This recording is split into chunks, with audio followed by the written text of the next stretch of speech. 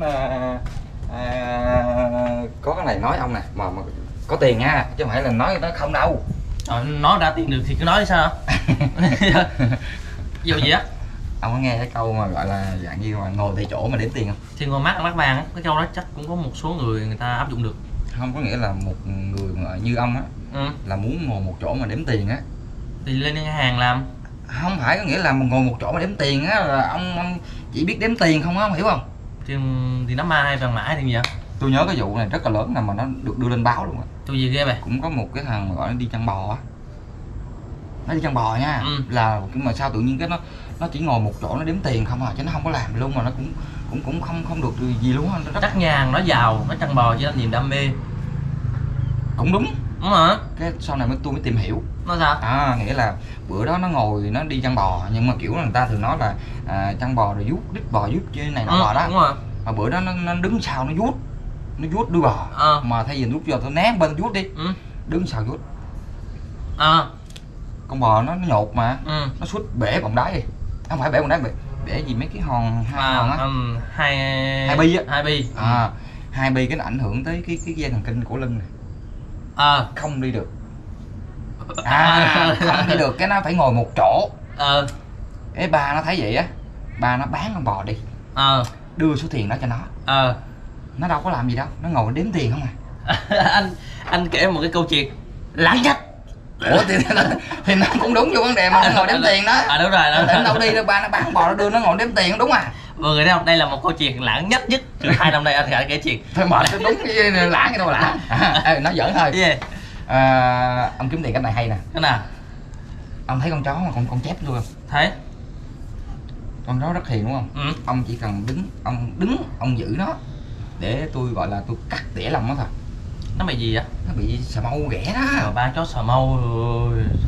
Thì đứng ông giữ nó đi cho nó khỏi khỏi đi rồi tôi tôi trả tiền cho nó làm gì vậy? Không phải anh ờ, lấy nhất đen anh bôi cho nó đi. Chơi mà mình mẩy lông nó có mà nước đen thận Ừ, nước đen có hiệu quả lắm á nhưng mà có được cái là nó dơ lỡ mấy bạn mà nuôi chó trong nhà bôi nhất đen cái chết.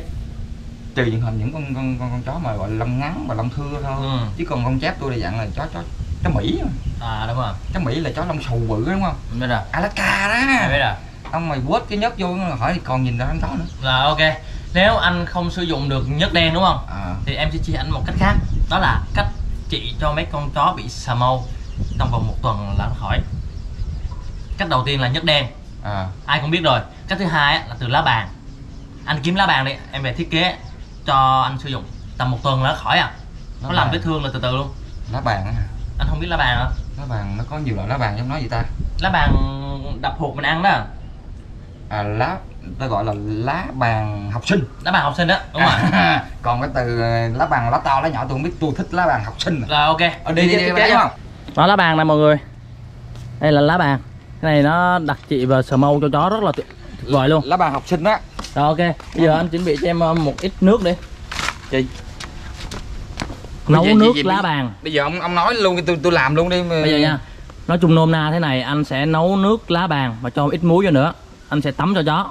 Tắm tầm một tuần á là chó sẽ sờ mau liền. Nghĩa là nước đang sôi cái mình xối lên cái nó cho nó rụng lông hết rồi cái mình mình cái tắm tắm nước thường cho nó để nguội để tắm tưởng đâu nước sôi cái ông xối lên chứ. Mỗi lần à, anh nấu tầm à, thì lá bằng nhiều thì anh nấu càng nhiều càng tốt. Không thì à, nấm hai ba nấm vậy đó tùy. Nó nó, nó càng nhiều càng tốt đâu mà. À Đó. nó nhiều thì nó tốt hơn đúng, đúng không? rồi.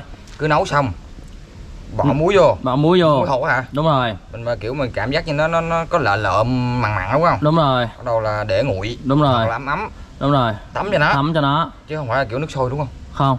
Là tắm tầm một tuần á là nó sẽ khỏi cái này à, chị cho mấy anh em bị à, vẫy nến ngứa cũng tắm rất là ok luôn. À, những người bị bên Ủa, đúng rồi người tắm được cho chó tắm được chứ. Đúng rồi đúng rồi. Ông nhớ cái đợt nào mà mà có có một ông bác ở gì ta miền tây. Ừ, Ờ, ông xem được clip mình mà gọi là bị ngứa ngứa người á. Ngứa người tắm lá bàn tuyệt vời. Ông tắm lá bàn xong bắt đầu cái ông điện về ông nói là ông đi uống thuốc này thuốc kia không hết đúng không? Ừ.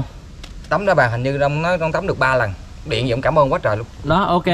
đó chó nhà bạn đang bị sờ mau mắc sờ mau thì có hai cách mọi người lựa chọn. Một là mọi người bôi nhớt hai là mọi người tắm lá bàn cho nó.